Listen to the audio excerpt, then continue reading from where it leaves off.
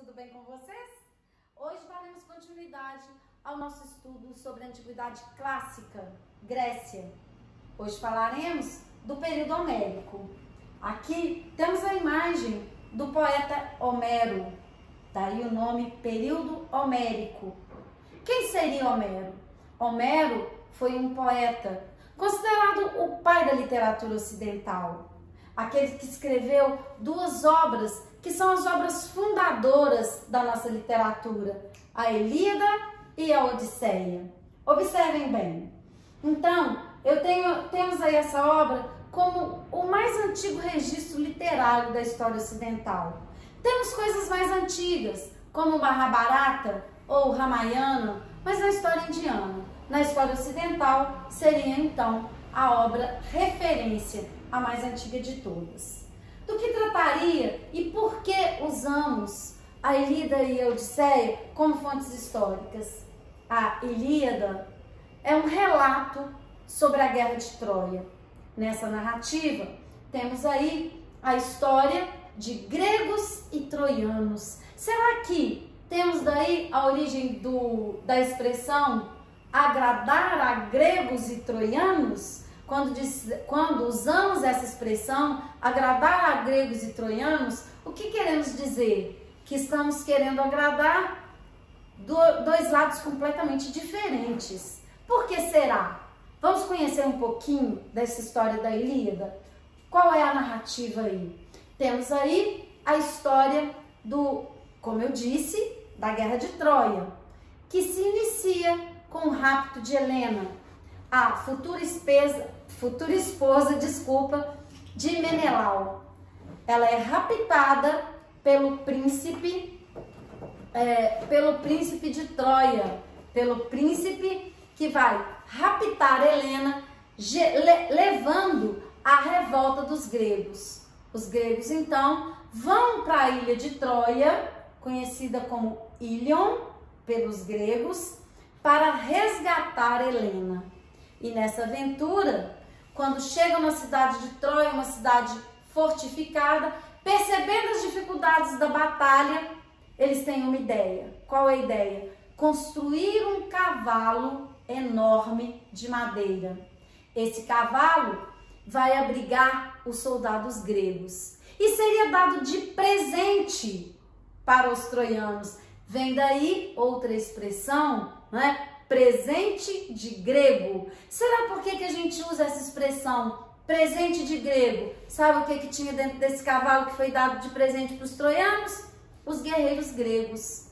Eles esperam a noite, quando todos os soldados troianos se embebedavam, saem de dentro do cavalo, atacam os troianos e vencem a guerra. Muito bem. Qual que é a relação da Ilíada com a Odisseia. A Odisseia é a narrativa do herói Ulisses ou Odisseu, um dos participantes da Guerra de Troia. Finalizada a Guerra de Troia, Ulisses volta para casa. Mas ele teria ofendido os deuses. Então, esse retorno, que poderia ter durado pouco, dura 20 anos. E a história da Odisseia é a história das aventuras de Ulisses no retorno a Ítaca. Ítaca é a terra natal de Ulisses, é a terra aonde ele era rei. Quando finalmente ele chega a Ítaca, ele chega rico de conhecimento. Lembram da relação que eu fiz da nossa Ítaca, do nosso isolamento social, no momento que estamos vivendo, com as aventuras de Ulisses, ou seja, cada um de nós, em nossa casa, em nosso isolamento, qual a viagem faremos?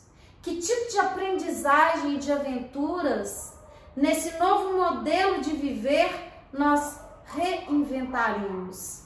Por isso coloco de novo aqui o poema que lemos aquele dia.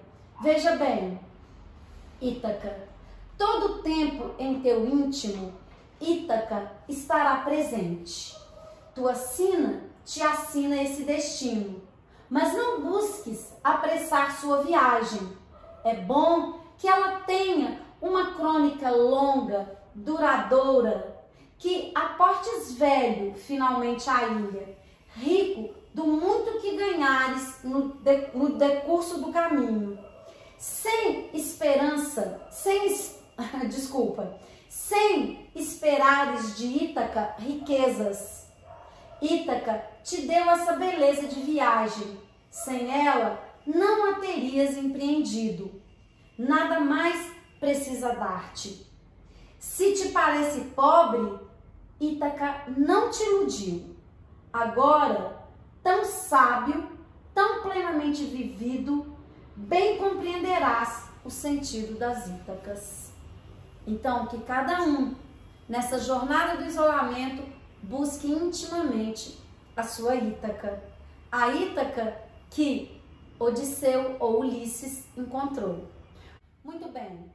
Para analisar essas características, vamos retornar um pouquinho na nossa primeira aula, aquela primeira parte da civilização do, desculpa, do período pré-homérico. O que que temos lá? Finalzinho. Revisando, hein? Temos a junção de características da sociedade cretense, minoica, com a micênica. Então, no final, a civilização que existe na região da Grécia é a civilização creto-micênica. Lembram disso? Essa civilização, ela foi, ela declina no momento que os dórios chegam à Grécia. Nesse momento, eu tenho a decadência da civilização creto-micênica. Como os dórios eles eram extremamente militarizados, o que, que isso significou? Isso significou uma diminuição da população. Essa diminuição da população, em virtude do temor que os, os dórios provocaram, acaba levando a uma ruralização. A população que permanece na península e que fica viva, porque nós vimos também que grande parte dessas pessoas com a chegada dos dórios, elas saem da Grécia na primeira diáspora. O que é a diáspora? Dispersão, saída. Então, nessa primeira diáspora, muita gente morre em virtude do aspecto bélico dos dórios e muita gente sai da península. É a primeira diáspora grega. Os que ficam temendo a ação dos dórios acabam indo para o campo. Por isso, alguns historiadores vão associar esse fato com as invasões bárbaras na Europa no século V. Eles falam que a, o período que os dórios ocupam a península balcânica, ele é semelhante à Idade Média, quando os bárbaros invadiram o Império Romano.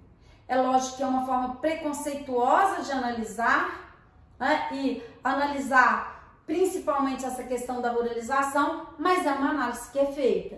Então, as pessoas, elas saem das cidades e vão para o campo, temendo essa ação dos dórios. E foi justamente aí que iniciou um sistema que define a Grécia nesse momento e que vai ser fundamental para toda a história grega. Vamos ver do que, que a gente está falando. Observando. Observem bem aí. Eu estou falando do sistema gentílico. Eu vou explicar no que, é, o que, que configura o sistema gentílico. Gentílico vem de genos, que são comunidades rurais. O que, que são essas comunidades rurais? Então preste bem atenção. População vai para o campo. Nós vimos lá no início da primeira aula que o solo da Península Balcânica não é um solo fértil, ele é montanhoso. Ou seja, por que, que tanta gente tem interesse em permanecer em um lugar que não tem um solo bom? Porque, na verdade, a atividade comercial dessa região é uma atividade muito intensa. A posição geográfica favorece essa atividade comercial em virtude da proximidade com o mar. Portanto, a agricultura ela é dificultada.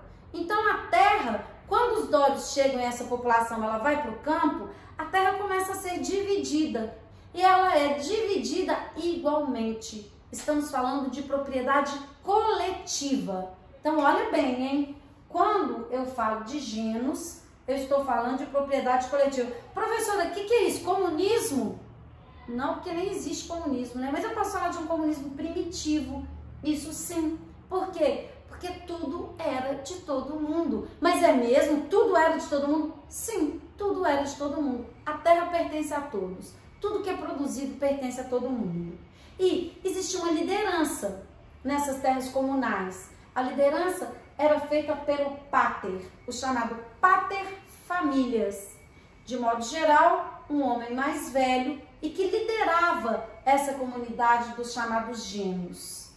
O agrupamento dos gênios, ele forma uma frátria. Então, vários gênios unidos, várias unidades rurais unidas formam as frátrias. Várias frátrias unidas formam as tribos. Então, repetindo, vários genos se unidos formam as frátrias, várias frátrias se unidas formam as tribos e várias tribos se unidas formam os demos. Mas veja bem, à medida que o tempo foi passando e a terra foi sendo dividida e eu falo de uma diminuição da população no início das invasões dos dórios. Mas com o passar dos séculos, o que, que vai acontecendo? Essas terras, elas vão sendo divididas, divididas, divididas da forma comunal, mas o número de pessoas aumenta, tem um aumento populacional. Então, de repente, tudo já não dava para todo mundo. E nesse momento, aqueles que estavam há mais tempo na terra, aqueles que tinham uma herança ligada aos primeiros a dividir a terra, começaram a falar o que? Ó, nós queremos dividir a terra, mas não. Agora vocês vão ter que arrumar terra em outro lugar. E foi aí que tivemos uma, presta atenção nessa palavra, desagregação do sistema gentílico. Esse sistema de terras comunais, ele vai acabar progressivamente desaparecendo e dando origem a uma nova organização social. Que organização é essa? Bem, ela nasce da chamada segunda diáspora. O que, que foi essa segunda diáspora? Presta bem atenção. Então veja bem, o sistema gentílico, ele acaba se desestruturando, aparece aí um grupo de pessoas mais poderosas, geralmente ligado à família desse pater, com herança desse pater, e isso vai levar então as pessoas. Então eu falo lá, né? Ó, agora não tem terra para todo mundo, não. Então, quem não tem terra vai embora. É a segunda diáspora. Então, se a primeira diáspora ela é determinada pela chegada dos dórios, quando os dórios eles acabam por destruir a civilização creto-micênica.